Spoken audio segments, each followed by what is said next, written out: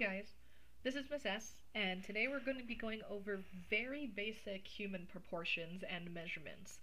Um, this isn't going to be a comprehensive guide. Uh, there are a lot of details that go into drawing a human proportionately, um, but this is a good step if you're like a beginner, if you're a little bit daunted by how much goes into drawing a person. Um, it'll just be kind of like a simple little stepping stone to building your artistic abilities further. Um, so a couple things about drawing humans, the with the correct measurements and things like that. Uh, first off, there's a bunch of different body types. Okay, um, there's a regular slash normal body type, and in order to measure these things out, we don't use feet or things like that. We actually use heads because how am I supposed to draw feet? uh, not actual feet, but the measurement when I'm drawing. So we use heads when we're drawing people, and the normal slash regular body type is about seven and a half heads tall. But as an artist, that's pretty difficult to draw. Um, so we normally result into an idealistic body type, okay, which is eight heads tall. So what we're going to start off with is a line at the top and a line at the bottom with a line right down the center. And the top line is the top of my head, and the bottom line is the bottom of my feet. Um, this will change, of course, however tall you make it is how tall your person is going to be. Um, and again, going with the different, you know, seven and a half, eight heads tall, it entirely depends on what type of person or body type that you want to be drawing. Um, some people, a lot of times in the fashion uh, industry, they draw their human uh, bodies like nine heads tall. So there's no wrong or right way. You just want to be very aware of what you're drawing and what the different um, proportions are. Okay? I'm going to go ahead and make this a little bit bigger so that way you can see it a little bit better. And let's go ahead and start drawing our different measurements. Okay, so again, bottom of my feet, top of my head. So what I'm going to do is right here in the center, okay, I'm just kind of eyeballing it and that's okay. The center line is going to be the hips, okay? Now, what's great is I'm only going to be really using halfway and a third. So I'm going to go halfway here at the top, and that's going to be the center of my chest. So halfway from the head to the hips is the center of the chest. And then I'm going to be working with a third, which is nice because I've already put where the halfway is, so to figure out the third, I just have to split those in half. So this first line in between the head and the chest, those are going to be the top of your shoulders, okay? And then halfway through the chest and the hips, that is going to be your belly button or your navel, okay? Now what's nice is drawing this circle here, there's my first head. And you can count them out. I already have four on top, which means I'll have four on the bottom here, okay? I am going to include a halfway line between the hips and the feet in just a moment. Uh, this is going to be my knees, okay? But we don't have to draw all the rest of the lines because we already have our eight heads. We know how tall it's supposed to be. We've already kind of broken down everything into the different measurements that we're going to be working with, okay? Now when it comes to doing the head, you want to make sure that you include a neck. okay, the heads don't just sit directly on top of the shoulders. Um, the shoulders are going to be about two and a half heads wide, um, which again is a little bit on the difficult side to measure it out, especially if you're just eyeballing it. And it also depends on the person. Uh, for me, example, I have very slender shoulders, uh, so mine are going to be less than two and a half heads uh, bodybuilders or swimmers or other athletic builds, uh, they're going to have three heads. Okay, so again, it just depends on the person, but again, going with that regular slash quote unquote normal body type, we're gonna go in here and do our best just to kind of eye out two and a half heads. I'm gonna go ahead and say, yeah, that's good. uh, using that line that we had drawn halfway between the top of the head and the chest, we're going to draw our shoulders. Now the shoulders are going to go right on the outside of those extra heads that we gave our person. Um, generally speaking, the hips are going to be as wide as the shoulders. Again, this is not for everyone, okay? Um, but this is one of the most common body types. But there's going to be people that have wider hips, uh, once again, smaller shoulders, way wide shoulders, and a really small pair of hips. It you know, it varies from person to person. But I'm going to go ahead and draw a line down here. Gonna attach them. So now my hips line up with my shoulders. Okay? Next way, uh, up, we're going to figure out how wide or how narrow my waist needs to come in.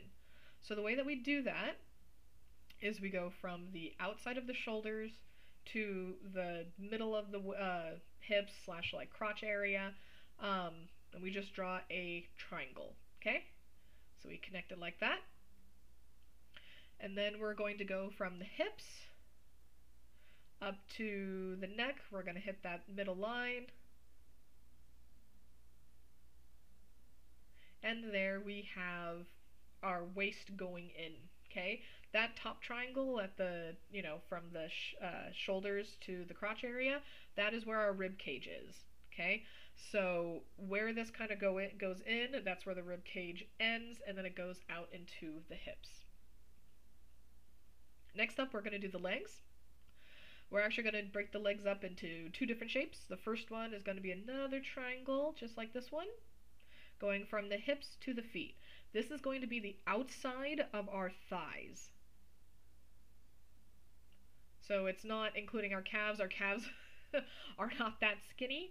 Um, so we have to include another shape going in for the calves. Okay? So we're actually going to be working with mm, a really, really skinny oval. um, let me just kind of sketch out a basic shape. I'll kind of redo it to make sure that it's working. Uh, but you're going to draw, let me clean this up a little bit. but you're going to draw an oval going from the hips down to the feet. Okay?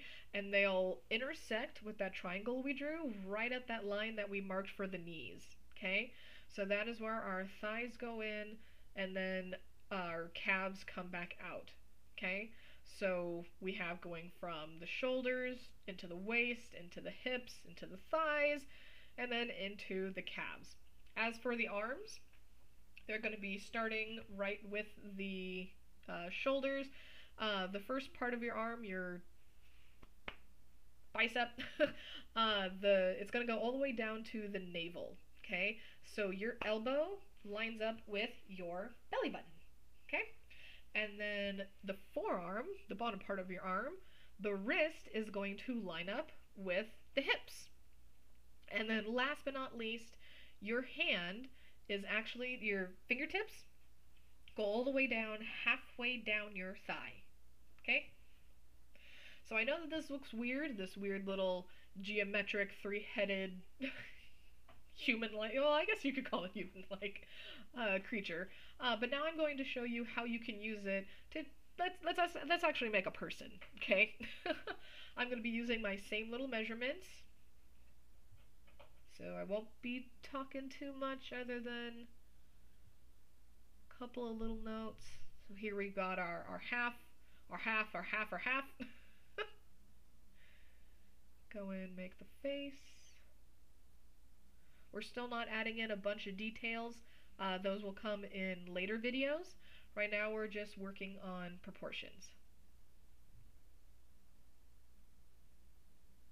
Drawing out the shoulders here.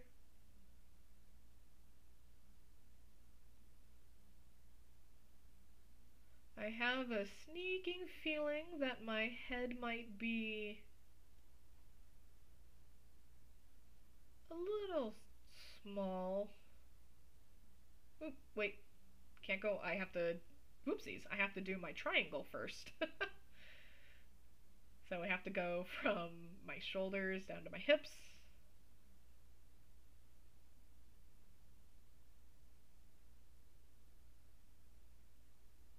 Just gonna quickly sketch it this time.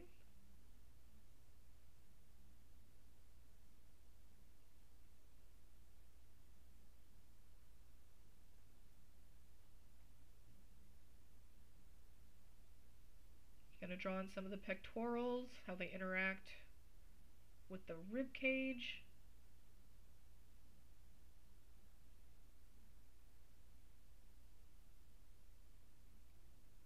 Yeah, just as I thought. I think I think this head's a little small. But that's okay. Again, we're just sketching. This is just to get some basics down. don't have to worry about perfection. Some ankles and feet.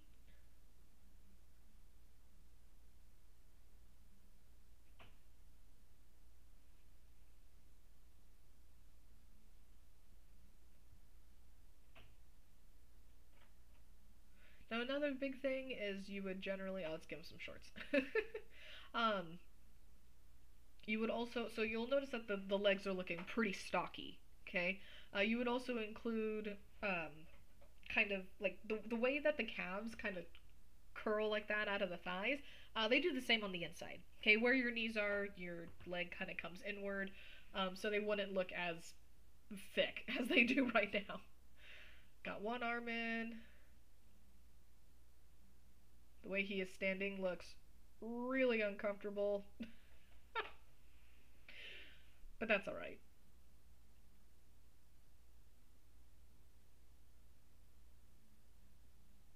Him some toes. So yeah. So again, this is this is such a basic thing. um, this isn't an end all. This is how you draw humans, things like that. This is just um, a way that you know I learned how to do it growing up, and you know once you start noticing things as you're drawing, um, you know you'll you'll pick up on stuff. You'll realize, oh, I didn't realize that the arms do that, or that the legs do that, or hey, I didn't know that those are the same length. Okay, um, so you'll be able to find out, you know, a bunch of different things. The important thing is that if you're working from, you know, weird shapes like this, or if you're working from stock photos, um, a live person, you know, you're doing uh, life drawing, um, just make sure that you're not just mindlessly drawing something. Okay? Make sure that as you're drawing, you're noticing the little nuances of this or that and things like that. Uh, you'll be able to start including things like perspective, as I am apparently doing right now with these huge feet. um, and apparently, eventually, it'll all come together. Uh, but there's a bunch of different ways to draw humans. This is just one of them. Uh, but hopefully it was very helpful for you. So I hope you enjoyed this video, and I have a lot more coming out, and I hope to see you there. Bye.